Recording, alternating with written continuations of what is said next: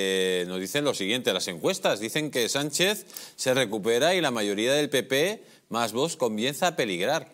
Carlos, ¿qué está haciendo mal el Partido Popular y vos para que las encuestas empiecen a hacer que Sánchez se recupere? De hecho, en un mes ha tenido una recuperación espectacular Sánchez de más de, un punto, caída de un punto y medio del Partido Popular, caída de un punto de Vox que no recupera el voto del Partido Popular. ¿Qué es lo que está pasando para que la derecha empiece a bajar y Sánchez en una situación de desastre total, de ruina total y de bueno y de, incluso de ruptura de la nación, pues empiece a recuperarse y encima como tome el poder eh, judicial, pues eh, salga con más fuerza de esta. Mira, yo sé que a los partidos les molesta mucho que les digas no estáis haciendo lo que tenéis que hacer, pero es nuestra obligación. Y en estos momentos, efectivamente, yo considero que la oposición no está haciendo lo que tiene que hacer. Y me refiero a los dos, a PP y a Vox. El Partido Popular ha repetido la misma negociación del Poder Judicial que lanzó Pablo Casado y Teodoro García de Gea, pero no tuvieron suficiente con ver lo que ocurrió. O sea, yo, la explicación está actual, que es una cosa maravillosa, lo digo con toda la ironía, es decir, es que nos han engañado. Ah, pero ¿queda alguien en España y desde España hasta China y de vuelta 30 veces que no sepa que Pedro Sánchez es el mayor mentiroso de la política de toda la historia? ¿En serio? O sea, ¿alguien se cree que puede negociar con Pedro Sánchez y Pedro Sánchez no le va a intentar engañar? Es que partamos de la base de que Pedro Sánchez es un mentiroso crónico. Claro que te va a engañar. Pero es que voy a más. ¿Qué era lo que se estaba negociando en la justicia?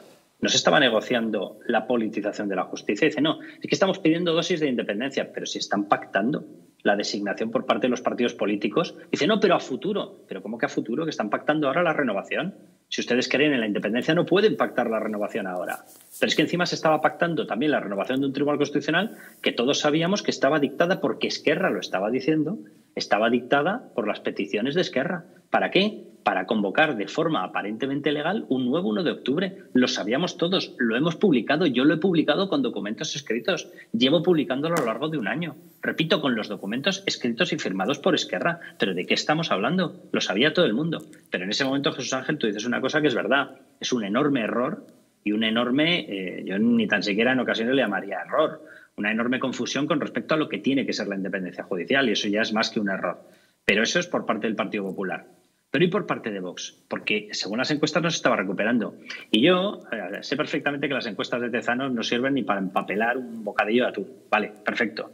Pero el resto de encuestas se hacen en muchísimas ocasiones por demóscopos que lo intentan hacer lo mejor posible. Pueden tener un fallo, pueden tenerlo, pero yo me estoy refiriendo a la media de las encuestas. Y la media de las encuestas mostraba que Vox no solamente no levantaba el morro, sino que seguía cayendo. ¿Por qué? Porque tiene problemas internos y porque determinadas decisiones que se han estado tomando dentro del partido, desde mi punto de vista, por supuesto, yo no quiero optar a ser eh, miembro de ningún partido, de hecho me lo han ofrecido 500 veces y lo he rechazado, pero desde mi punto de vista, oye, y la gente lo debe estar interpretando así, Vox tampoco se estaba centrando en algunos de los problemas básicos.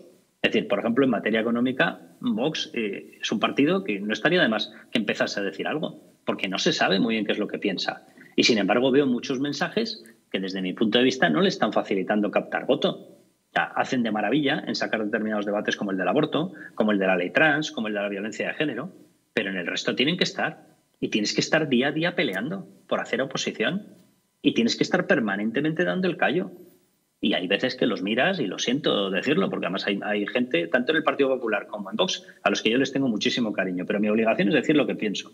Y lo que pienso es que en estos momentos hay una dejación de labores de oposición y hay un desenfoque con respecto a lo que está planteando y lo que necesita la población española.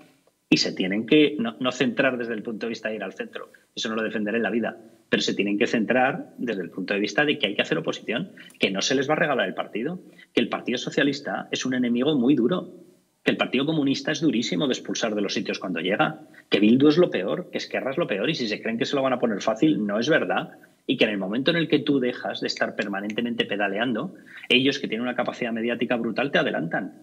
Y eso es así. Y eso es así. Así que yo les pediría que efectivamente se pongan a hacer aquello para lo que han llegado, que es centrarse, dejarse de batallas internas, eh, empezar a sacar propuestas absolutamente sobre todo, trabajar con expertos y empezar a plantear cosas que benefician a España y dejarse de tanta tontería.